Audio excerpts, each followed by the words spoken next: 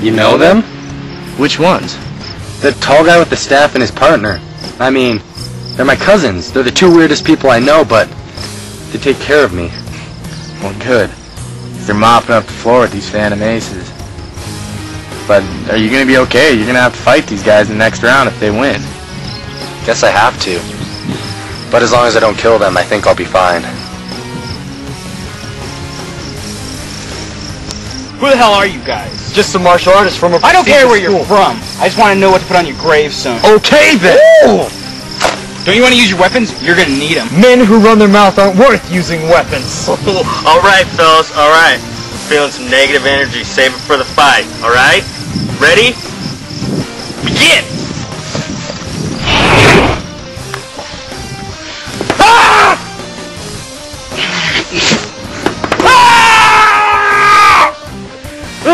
I'm not done.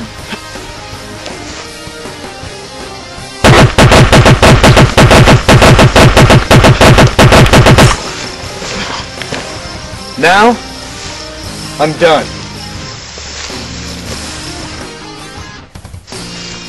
Winner, Brandon! Did you see what happened? Yeah, they're a little bit slower than the Rake and no Kinameki. Then again, they weren't using it. Right. We can't slouch into anyone here, you understand? Their opponents weren't that weak. It's just they knew what they were going to do and then they did it. You don't let up at all on anyone. Trust me, I won't.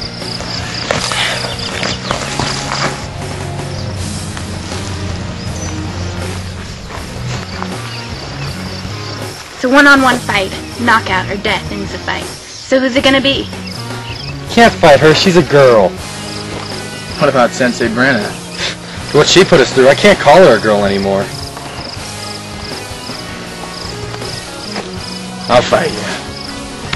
How can you fight her? She's a girl! Yeah, she's a girl and she's in our way. I have to beat her so we can save Abby. You're right.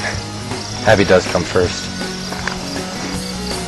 All right, check it. Conditions are set. Please clear the area for the fighters. How does it feel What do you mean? to get your ass kicked by a girl? Oh. Ready? Begin! Ah! Is that all you've got? Shut up! I'm just getting started. I'm disappointed in you. All this talk about beating